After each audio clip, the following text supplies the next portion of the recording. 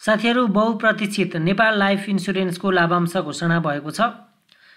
इन्सुरेन्सले आर्थिक वर्ष दुई हजार छयत्तर सतहत्तरसम्मको सञ्चित मुनाफाबाट हाल कायम चुक्ता पुँजीको चौध दशमलव सात तिन प्रतिशतका दरले लाभांश वितरण गर्ने घोषणा गरेको हो। जसमध्ये चौध प्रतिशत बोनस सेयर रहेको छ भने शून्य दशमलव सात तिन प्रतिशत नगद लाभांश रहेको छ। अब यो बिमा समितिबाट स्वीकृत हुन्छ। आगामी वार्षिक साधारण सभाले पारित गरे पश्चात सो लाभांश वितरण गरिन्छ। अब अहिले यसको मार्केटमा अहिले तत्कालको रेस्पोन्स कस्तो छ भन्दा अहिले चाहिँ यसको नेगेटिभ सेन्टिमेन्ट हाबी भएको छ। पन्ध्र सय सत्र चलिराखेको छ यसको होइन? र आजको दिन चाहिँ लोएस्ट प्राइस अहिले पन्ध्र सय दस चलिराखेको छ रिफ्रेस गर्दा। अनि सात दशमलव तिन छ प्रतिशतले डाउन भएको छ। भन्नुको अर्थ धेरै लगानीकर्ताहरूले चाहिँ यसलाई रुचाएनन्। त्यही अर्थ त निकाल्नु पऱ्यो नि होइन?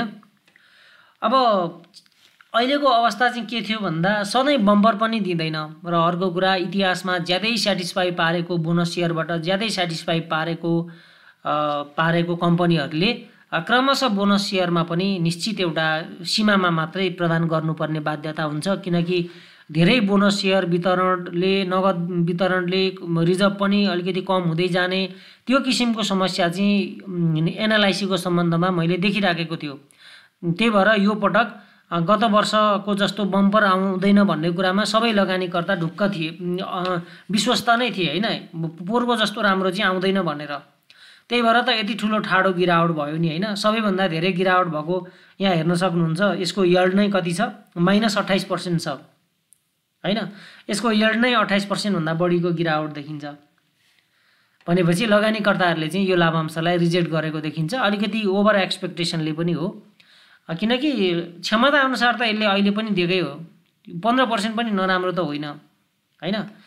तर लगानीकर्ताहरूले चाहिँ माथि टपदेखि नै किनेर बस्नुभएको छ। राम्रो दिएर बोनस सेयर कभर हुन्छ कि भनेर। बिचमा धेरै राम्रो स्विङ पनि आएको यसमा। लगभग बाइस डिसेम्बरदेखि यो एघार जनवरीसम्म त एकदम राम्रो स्विङ पनि आएको हो। अहिले चाहिँ तपाईँको यो डिभिडेन्ट अलिकति लगानीकर्ताको अनुकूल चाहिँ आएन भन्न सकिन्छ।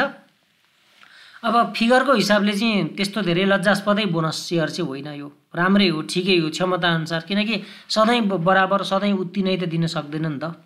ल।